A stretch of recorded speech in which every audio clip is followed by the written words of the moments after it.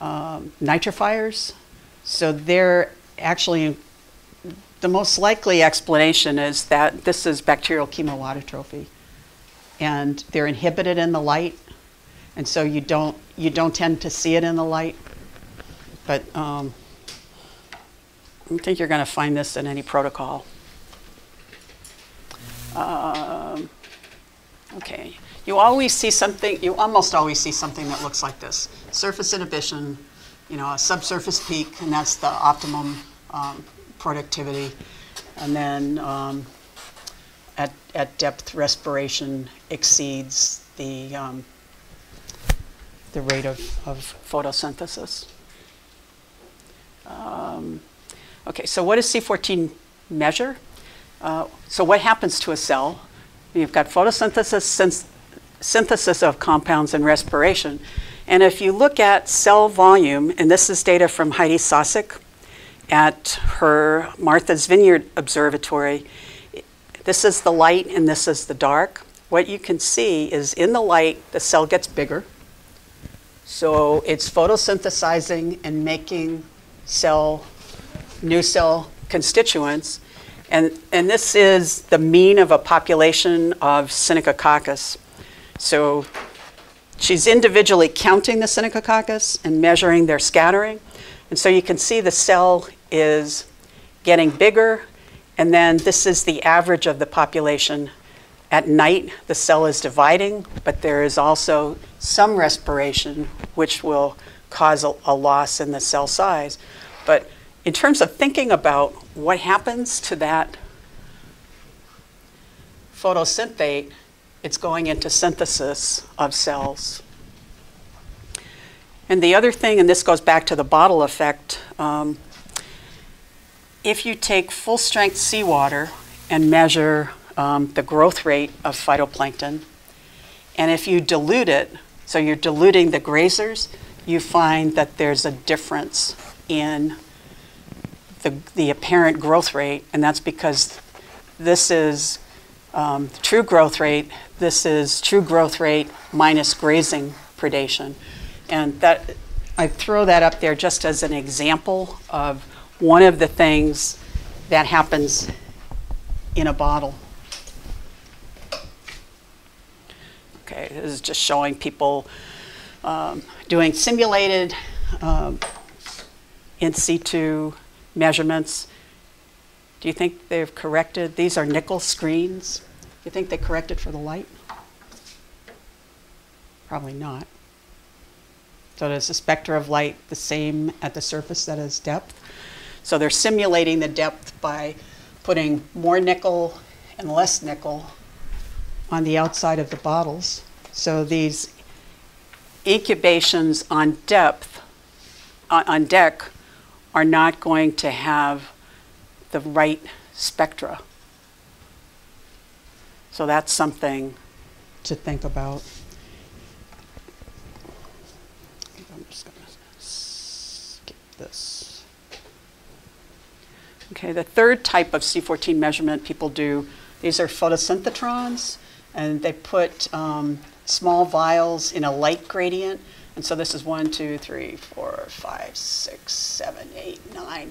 This is a, a farm of um, P versus E incubators. And the idea is to be able to get data points at a variety of light intensities for the light limiting part and for the light saturating part so that they can use this to model using Pmax, the slope, and um, the, the measured light intensity. So that's a common method. Um, this is just an example of the type of data that um, is derived from one of those incubators. Earlier, I mentioned this EK, which is the light intensity at which the cells no longer are light limited, and this is based on a number of these P versus E experiments. You can see near the surface, that transition light intensity is very high, and at depth, that's very low. So a cell that grows at depth is much more optimized to be able to make maximum use of that energy at low light. So this will be up here, meaning that for a high light environment, this value will be way up here. For a low light environment, this break point will be much lower. So the cells adapt by putting more pigments in the light harvesting antenna. Yeah. What's the latest thinking on how all of this stuff depends on the time dependence of the irradiance? Because you, you put this in your little uh, lab experiment, it's irradiance, and you, then you increase it, it's steady. But in the real world, these guys are sitting here near the surface getting flashed by wave focusing, so the, most of the time, it's a lower irradiance, and then they get blasted for like ten milliseconds with this strong irradiance, and so the averages are the same, but it's a much different, really light environment. So does that affect all of this, if it's flashing occasionally versus steady, though the average is the same? I guess a couple of things. One, one is, do you ever see photo inhibition in the field? And very often, um, if the cells have been photo inhibited, you'll get a curve like this when you do this kind of measurement. If they haven't been photo inhibited, you will damage them in the incubator and you will see that. So there's kind of a thinking about yes, you'll only see photo inhibition in, in an incubator if they haven't been photo inhibited. That's one response. Um, the the other one, Kurt, is I, I don't know, Emmanuel, if any if from that paper that you did with Ron, if anybody's used that to try to model photosynthesis in terms of the Yeah, but that, that, the question I think is more physiological, is how do they deal with a very high packet of energy if it comes, and I, I think strands here to that, but I'm not sure. what Right. Colin. Wasn't it, there was the guy, wasn't Gary Kirkpatrick, it was someone I was getting mixed up with him, who actually took, um, did incubations at the surface and did simulations where he would expose them to flashing light of increasing, um, duration of the high intensity light and, and found that they did have a lot more, they were really impacted by very, very high, strong flashes, they had to do a lot of Right. recovery. I can't remember Right. the year, but I think Right. um, but that was in the eighties, and he just, I mean, you kind of published the paper, and it was like, oh, that's really cool, and then that was y'all the last you heard of it. Right. The guy in the eighties in Canada, Legendre or something like that, that was doing all the. Louis did some stuff too, yeah. And Susanna Down Roy. Yeah. I've read some Yeah. stuff with coral reefs of people looking at that effect on the dinoflagellates on- in, in reefs and shallow water reefs and seeing a large effect from that Yeah. flashing, you know, focusing of light. on Yeah, their- I think maybe what happened was people just realized that that's a second order problem, like, we still can't, we're still not getting gross productivity and net productivity well, Right. and so those are second order problems, but they might turn out to be a first order of magnitude. Yeah, and, and I think that, you know, we're near the surface, even if it's focusing and defocusing, the ambient light is so high that it might be, as Colin said, a second order as opposed to, yeah, Keel? Elena Litchman also has a few papers where she looks at the effect of intermittency in cultures of different phytoplankton and finds that the total growth rate of the community doesn't matter when they do it in situ. Um, though some phytoplankton are affected, there are total growth rates, but the community composition varies a lot. And Hmm. so there's like interesting community effects. Hmm. that sort of stuff. I, I, you know, I, I think there's a difference in the response if the light is shifting in this region because it's mostly light saturated. I think the question Kurt's really asking is about the damage if the light is like way off of that scale. Um, there were a lot of, this is not related to Kurt's question directly, but there were a lot of studies in the 80s where people tried to simulate moving phytoplankton as if in a vertical water column. And they found that if cells were moving, that it either increased the photosynthetic rate, uh, decreased the total water column photosynthetic rate, or didn't make a difference. So you had, your answer was yes, yes, and yes. And, you know, it all depended on, you know, who was doing it, how the simulations were set up, you know, what the species were, but it was Jim Yoder, was it? Um, Uh, Pat, Pat Neale and Jim, John Cullen did a bunch of work in the Southern Ocean looking at the effects of that, uh, UV effects on that. And found that it was really dependent upon the mixing rate. They called it the conveyor belt of doom. The conveyor belt of mixing was too Huh. slow, everything got fried. And if it was rapid enough, there was enough recovery, but. Right. The time constant makes a huge difference. yeah. Emmanuel? Another thing is that, what, in terms of modeling, is when you look at these P versus E uh, curves, they're done uh, with, let's assume they're done with phytoplankton taken from one depth. These phytoplankton would not necessarily, I mean, yes, through the day, they, they migrate on that curve, but they would mostly spend their time probably in a certain range of that curve. And if you think about, most modelers use a single P versus E curve for the whole water column when they do ecosystem modeling. They don't, they don't vary them with depth.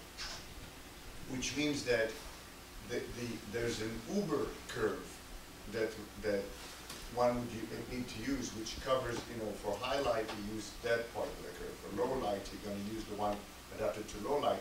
And it looks like none of the P curve from any one depth. If you use the right, Right. in terms of the ecosystem model. Right. And so just looking at this, this tells you that there's an effective depth because this is EK for this, and it's saying it ranges all the way from about 30 to 400. And All operating with P-max. It's just that their P-max is different, their curve is different. And everybody models them in the alpha range, but really they should all be modeled in Right. their own P-max range. Right. And so you could either say, how do you get a difference in EK?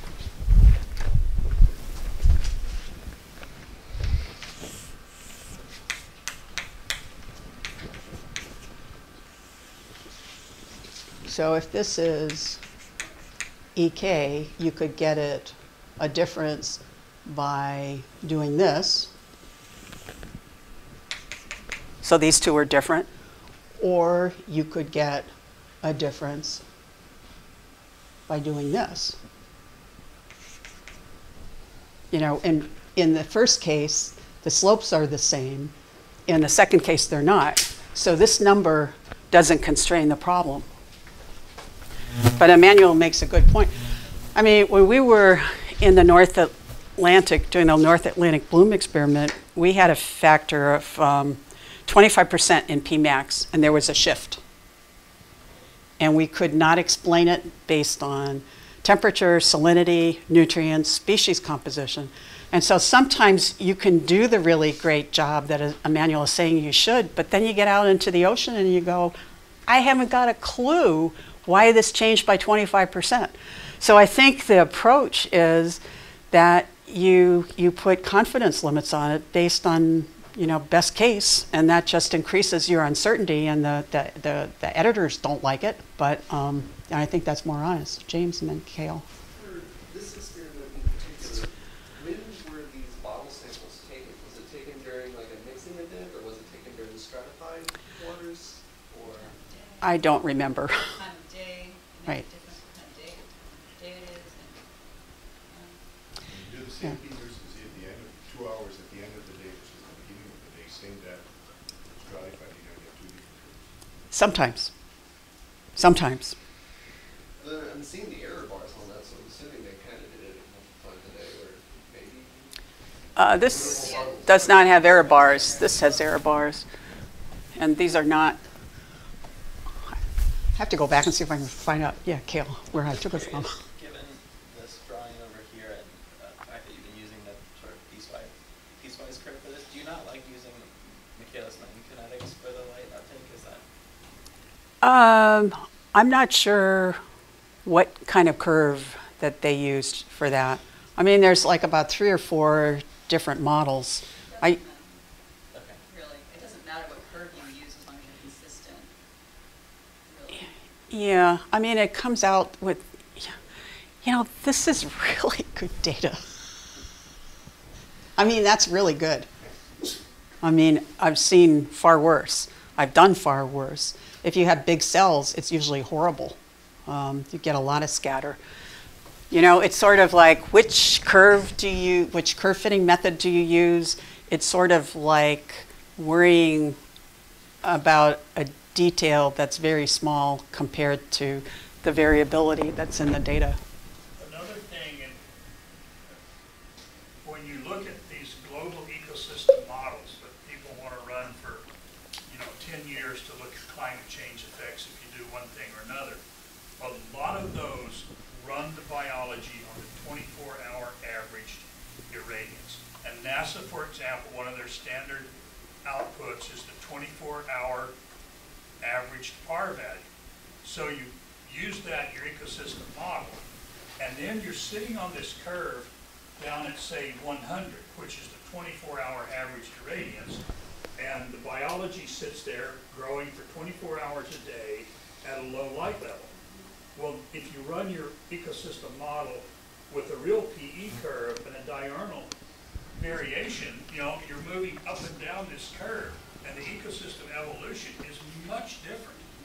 And when I got into, got into this business indirectly by trying to improve the light calculations, I was, even as a non-biologist, kind of blown away that people were saying, I can just use a twenty-four hour average irradiance and do my global ecosystem study as opposed to modeling light versus dark over a twenty-four hour cycle. And, you know, but that seems to be the state of the art. And the reasoning is, oh, well, these models take so much computer time, we have to just do everything so simply and we can't afford to use a, you know, like a, a calculation every hour or two, moving up and down the PE curve. We're just gonna do like this one, you know, our time step is one day, not one hour when we run the model.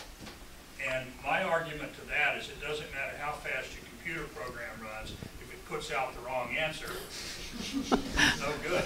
It's not to pay your money, and if it takes, you know, a two-hour time step to get the biology right, you've got to do a two-hour time step. You don't need to do five minutes, but you can't do twenty-four hours. Manuel. It's what Colin said before, if, if the response, if it's not, if it were a linear curve, if you're always on a linear curve, using the average wouldn't matter. The problem is when you deal with nonlinear behaviors, is then you cannot simply use the average life to get the average for the synthesis. Right.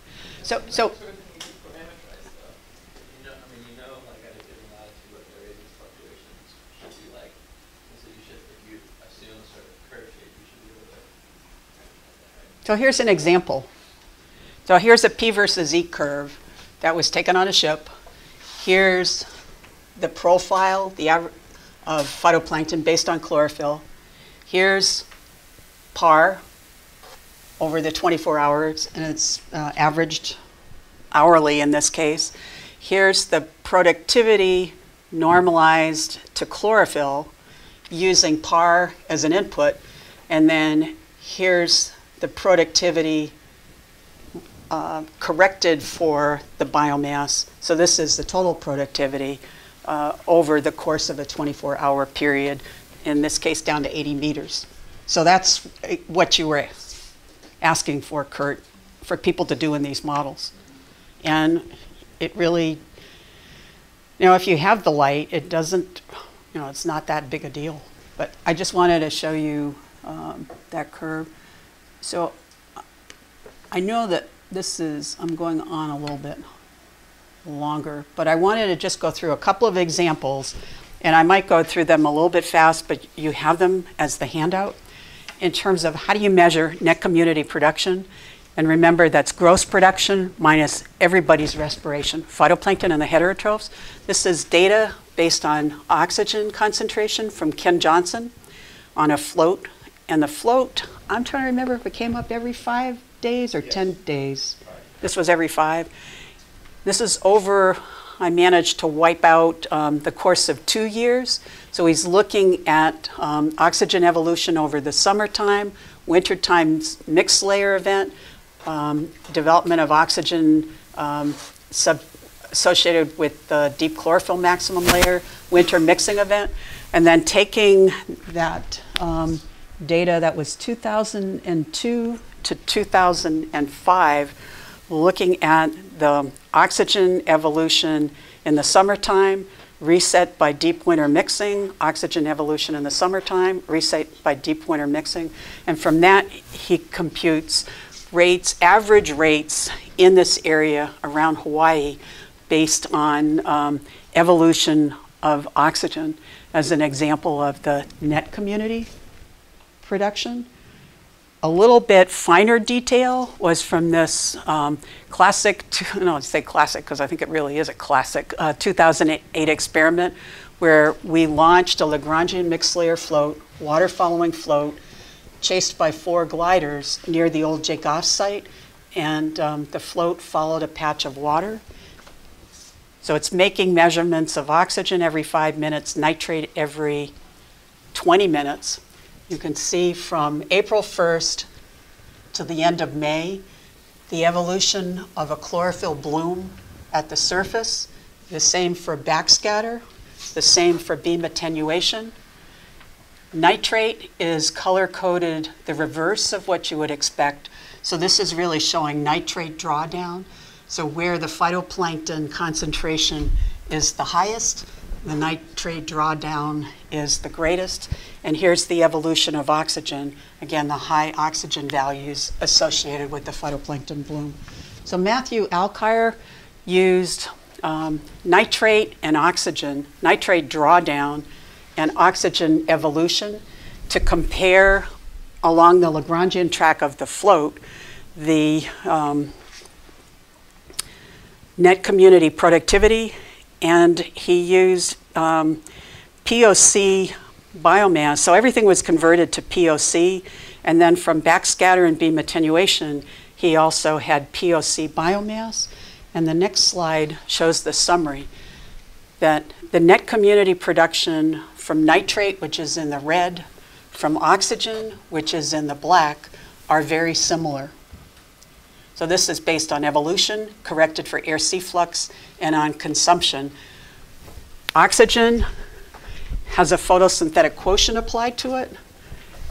Nitrate has a Redfield ratio applied to it. And so those are uncertainties. And this is the POC accumulation based on beam transmission. So we have net community production, we have accumulation of biomass, and the two don't agree. The difference between the two is export production. And on the order of 30 to 70% of the net community production is exported. So exporting the carbon, but leaving the signature of oxygen behind. And, and so that by looking at the two, you can come up with an estimate of the export flux. Again, this is from Nathan Briggs. One person's noise is another person's signal. How many of you, first thing you do is you, you spike everything? Right, you despike it. Okay, well, sometimes there's a pattern in spikes. And so we saw these pattern in spikes, and again, this is part of this North Atlantic bloom experiment, um, converted the spikes above a baseline and then put together a pattern, and this was part of Nathan's master's thesis. You could actually see a pattern in this spikes. And we interpreted that as being part of sinking aggregates of diatoms. The silica went below one micromolar, and we started to see these spikes. It was like a sinking front. Richard Lampitt was out at the same time with the PELAGRA floating sediment traps, and he captured these spores of uh, diatom Chaetoceros that Tatiana Rynearson reported in this paper. And so th this could be used for one component of the sinking flux, but then the, the reason that spores have this really resistant um, silica and um, cellulose um, frustule is it makes them resistant, and so going through a diatom, um, zooplankton gut, they're they're resistant to that. So is this really part of sequestration flux? Trying to understand what are the things that are sinking out that may make it through the twilight zone. This is using optics. And then the last example I'll show is we started seeing these crazy bulges and this isn't the best figure for this, but we started to see these crazy bulges in um, the CTD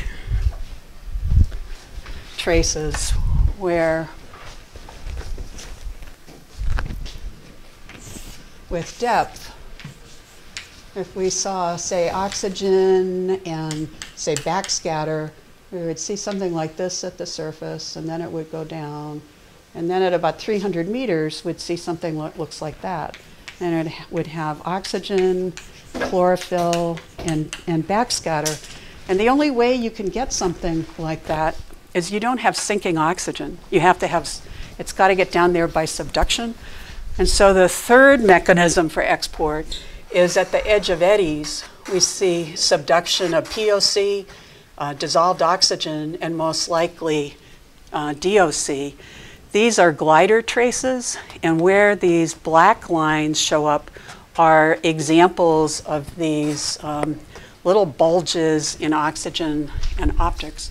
So there's ways to get at um, using optics to get at some of these um, fluxes, and I think that um, I just wanted to, to stop with one equation, sort of equation, that the basis of productivity models are light, some estimate of phyto- phytoplankton biomass, and if you remember back to the very first slide, what's the uncertainty associated with your estimate of phytoplankton biomass?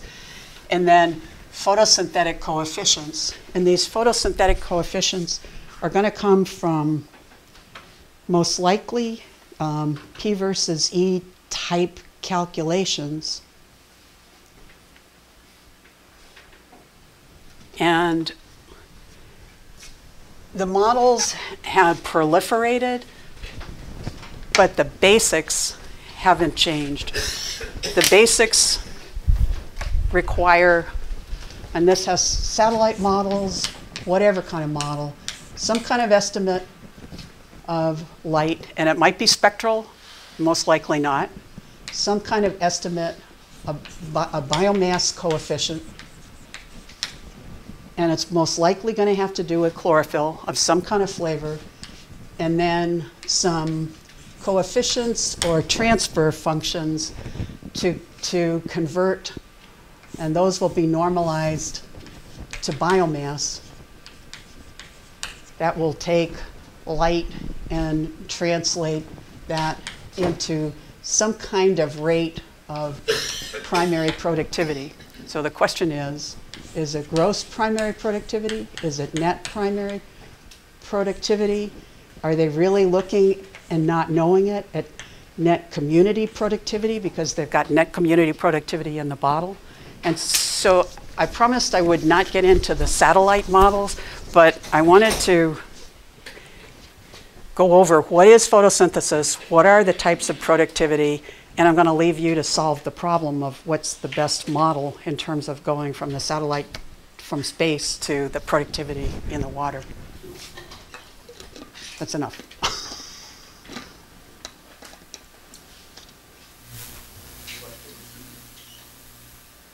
it's probably time to move. James.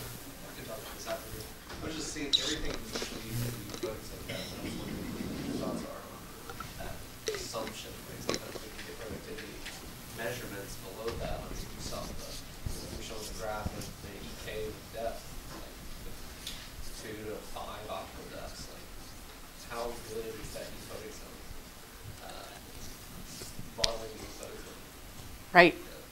I mean, that's why the approach that Emmanuel is taking and others in terms of trying to have something out there so that you can uh, come up with what is the euphotic zone depth, what's the mixing depth, because some of the models assume that you know what the mixed layer depth, and you get them from the Navy models, and how good are they? Um, you know, if you have a deep chlorophyll max, the getting the euphotic zone and the biomass at depth are more important than they are, say, in a place that's um, most you have high biomass at the surface. So the answer is depends. okay, I think you need to get air and coffee. Back, uh, Yeah, 10:30 is good.